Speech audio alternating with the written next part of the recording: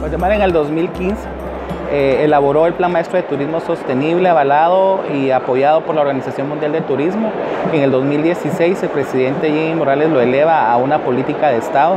y esto ha permitido, junto con la definición del turismo como una prioridad presidencial,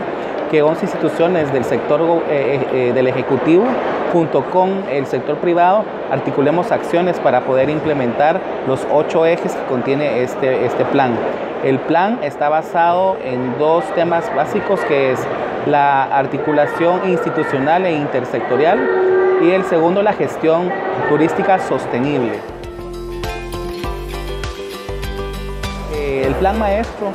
lo que nos está permitiendo además es alinearnos todos y ponernos de acuerdo, ya, es, ya tiene los acuerdos nacionales de cuáles son las prioridades, los mercados prioritarios, los segmentos de actividades prioritarias a promocionar y a trabajar en el desarrollo del producto y en la promoción internacional. Así es de que esto como resultado ha permitido